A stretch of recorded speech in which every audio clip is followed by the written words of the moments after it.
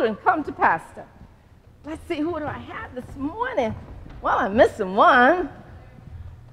Oh, hey.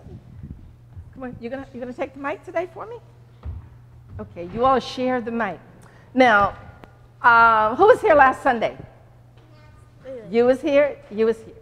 Last Sunday we talked about opposites. Do you know what opposites are? Yes. Yes? Okay, so we're going to talk about opposites again this Sunday. So let, let's try it. Let's try this. If I say rich, what would you say? Poor. Say it loud. Poor. Poor. Rich, poor. If I said lost, Found.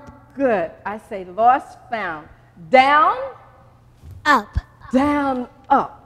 So how about push? I push and I pull. Grab. Pull. Push, pull. Pull. Good. So that's what we're going to kind of talk about this morning.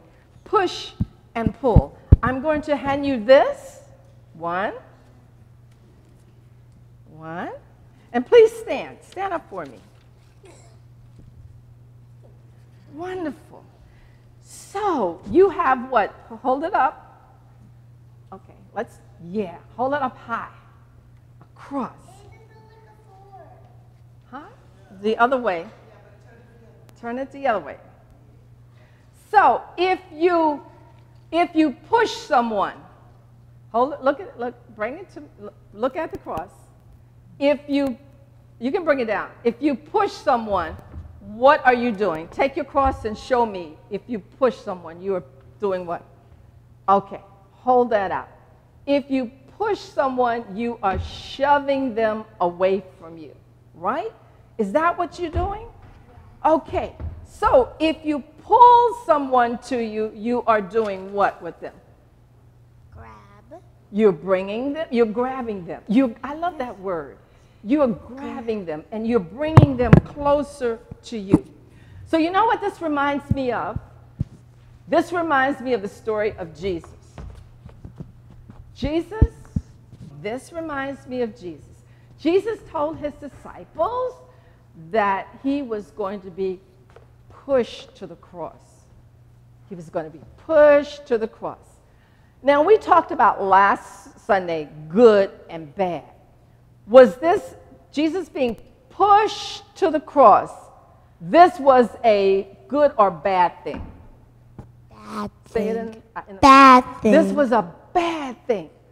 But I said last Sunday that sometimes something good comes out of something bad. So when Jesus went to the cross, it was a bad thing.